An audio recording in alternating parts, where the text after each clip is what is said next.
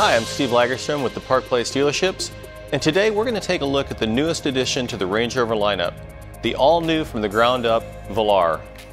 Positioned between the Evoque and the Range Rover Sport, the Velar delivers an all-new design language, as well as unique proportions and technologies. The futuristic and innovative design of the Velar will play a pivotal role in challenging established premium SUV rivals in the ultra-competitive medium SUV segment. So let's look at the newest Range Rover offering that uses a name steeped in Range Rover heritage to deliver a unique, coupe-like experience that makes Range Rover a formidable player in the mid-size SUV market. There are engine choices galore with the Velar. It offers everything from a 247 horsepower 2-liter inline 4 to a 380 horsepower supercharged 3-liter V6. An 8-speed automatic transmission and all-wheel drive are standard on all models, as are the ultra-modern good looks that set Velar apart from the rest of its Range Rover siblings. It has a long, leaner, and more athletic stance than other Rovers.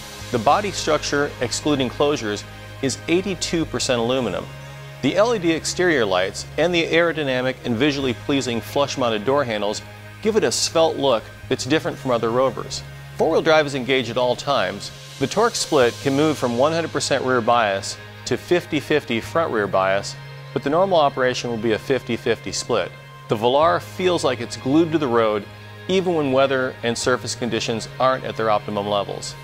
The Velar is an absolute work of art from any viewing angle, but it shines most from the sides. The long, low-slung, coupe-like body, combined with the rakish spoiler that comes off the rear roofline, gives Velar a unique look that brings a lot to the Range Rover party.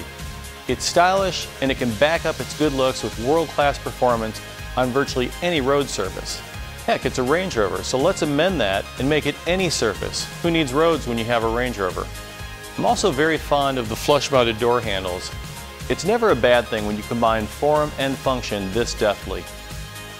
The lean taillights that flank the Range Rover badging in the rear are a continuation of the styling of the narrow LED front headlights and they provide a wonderful last look of the Velar. The creators of this visually stunning body style didn't miss a trick, and the Velar is beautiful to behold from virtually any angle, including the rear. The rear spoiler that completes the Velar's roofline is certainly visually pleasing, but it's also functional as it enhances aerodynamics. If you're someone who needs to carry a lot of gear in your SUV, the Velar will fill the bill nicely with its huge rear storage dimensions. It's easy to access as well, just a touch of the key and the rear hatch springs open, revealing the cavernous storage area. There's even a nice privacy cover if you have gear you don't want others to see stored in your Velar. And you can either touch the button here or touch the button on the key and close the hatch back up. The interior of the Velar is beautiful to behold. Two 10-inch high-res touchscreens contribute to a well-integrated media experience while also helping with the refined interior design.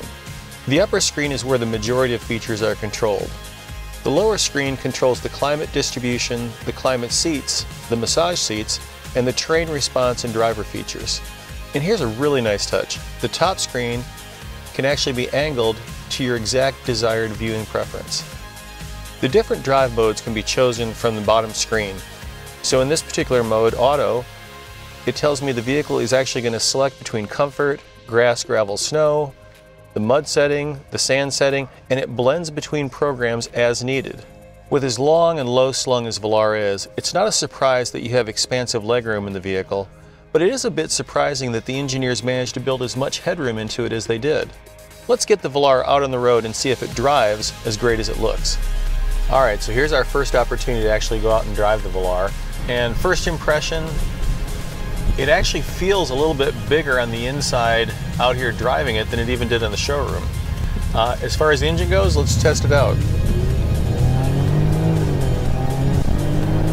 Well, it's got a great engine note, and you can tell that all four wheels are getting traction. It's got the four-wheel drive fully engaged all the time, so you've got that 50-50 split, and you can absolutely feel it at takeoff.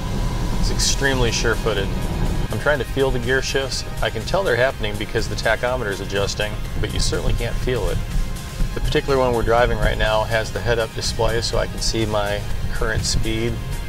And real quickly, I'm going to just try the turning radius on it and see how it does. And that is absolutely as tight as any Rover I've ever been in. Wow, easy to park.